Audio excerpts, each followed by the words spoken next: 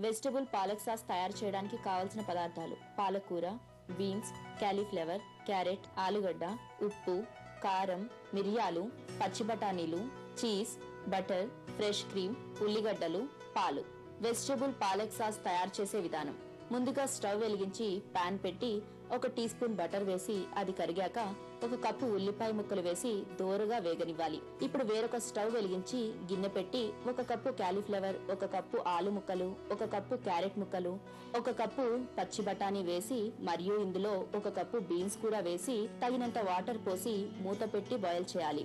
ఇలా బాయిల్డ్ అయిన వెజిటబుల్స్ని వేగిన ఉల్లిపాయ ముక్కల్లో వేసి కలిపాక రెండు కట్టల కూర వేసి మూత పెట్టి రెండు నిమిషాలు మగ్గించి ఒక కప్పు కాచిన పాలు హాఫ్ కప్పు ఫ్రెష్ క్రీమ్ వేసి మూత పెట్టి దగ్గర పడ్డాక తగినంత ఉప్పు టీ స్పూన్ కారం హాఫ్ టీ స్పూన్ మిరియాల పొడి వేసి అన్ని కలిసేలా బాగా కలిపి దీనిలో రెండు చీజ్ స్లైసెస్ వేసి రెడీ అయ్యాక బౌల్లోనికి తీసుకోవాలి. అంతే ఎంతో గుమగుమలాడే వెజిటబుల్ పాలక్ సాస్ రెడీ.